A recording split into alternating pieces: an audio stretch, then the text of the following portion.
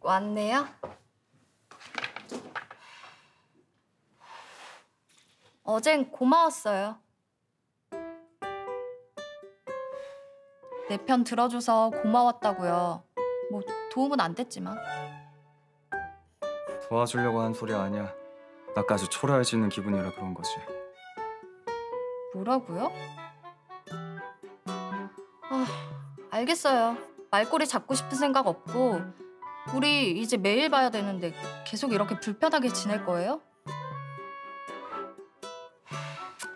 화해하자고요. 내 말 안 들려요? 난 불편할 거 없으니까 화해를 하든 뭘 하든 그쪽 혼자 해. 뭐 저런 사람이 다 있어 정말?